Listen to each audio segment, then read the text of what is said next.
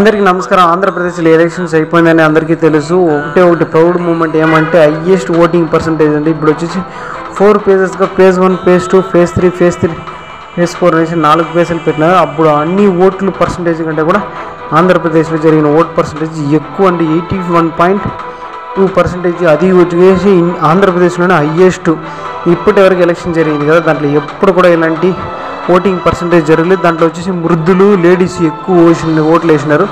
అది చాలా ప్రౌడ్గా ఉంది. దానికి ముందు మన జగన్మోహన్ రెడ్డి గారి ఫ్యాన్స్ ఎవరైనా ఉంటే సబ్స్క్రైబ్ చేయండి లైక్ చేయండి షేర్ చేయండి. మన కుప్పంలో వచ్చేసి eighty five percent highest voting percentage అయింది.